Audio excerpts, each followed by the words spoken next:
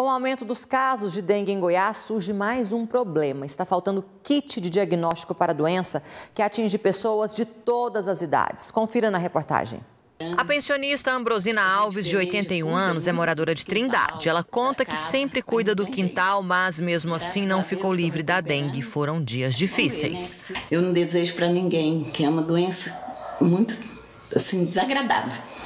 Mas graças a Deus estou recuperando é meio difícil. O mosquito não escolhe idade. Crianças, jovens, adultos e idosos estão à mercê do Aedes aegypti. O jornalismo da TV Serra Dourada vem mostrando diariamente que os casos de dengue sobem descontroladamente. Goiás já registra 36 mortes em apenas 2022. O número é maior do que todo o ano passado, quando 33 pessoas perderam a vida para a doença. De acordo com a Secretaria Estadual de Saúde, 127 mortes ainda ainda estão sendo investigadas. O jornalista Rafael Tomazetti, de 27 anos, também teve dengue recentemente. Uma das piores coisas da dengue, sem dúvida, é o fato da doença ir e vir, porque quando você pensa que está melhorando, de repente a coisa degringola de novo e todo aquele avanço que você teve num dia vai por água abaixo. Isso acontece dentro do próprio dia. Em Goiás, a Secretaria Estadual de Saúde emitiu um alerta para cidades goianas sobre uma possível epidemia. Para se ter uma ideia, diante do avanço no número de casos, os kits para diagnósticos já estão em falta. A gente vivencia hoje uma explosão do número de casos de dengue com muitos casos acontecendo, pessoas ficando doentes, é, e o que é pior, a falta de kits para diagnósticos.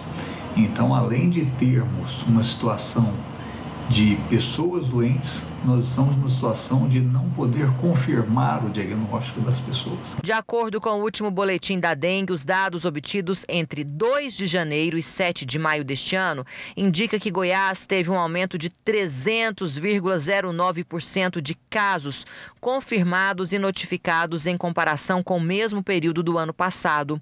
Segundo o boletim da Secretaria Estadual de Saúde, nesse intervalo foram confirmados 73 3.645 casos e 145.879 notificados.